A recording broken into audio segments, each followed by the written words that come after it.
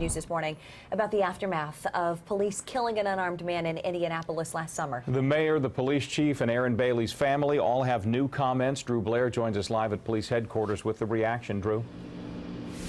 Well, Scott, just about everyone who has had a say on this issue has expanded their thoughts on the work that takes place inside this building and on the streets of Indianapolis. Aaron Bailey's family is calling for change to police training, while others, like the mayor and the police union, are debating changes to the merit board process. That's what cleared two officers in Bailey's death. He was unarmed when he was shot and killed following a police chase last year.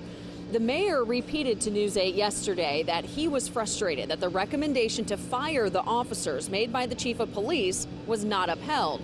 The Fraternal Order of Police says nothing needs to be changed regarding the board. Instead, the union says it's launching a public service campaign to educate people about the do's and don'ts during interactions with police. It also plans to approach state lawmakers about encouraging the BMV to incorporate training too. Our overall theme for these various collaborative discussions and educational opportunities must focus, focus on the mantra of comply now, complain later. Aaron Bailey's daughter, Erica, does not agree with that approach. She says police should focus on themselves when it comes to training, not the community. You will hear her reaction still ahead on Daybreak coming up at 7 o'clock.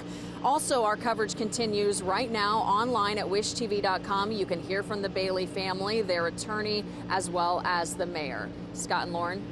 Drew Blair, thank you.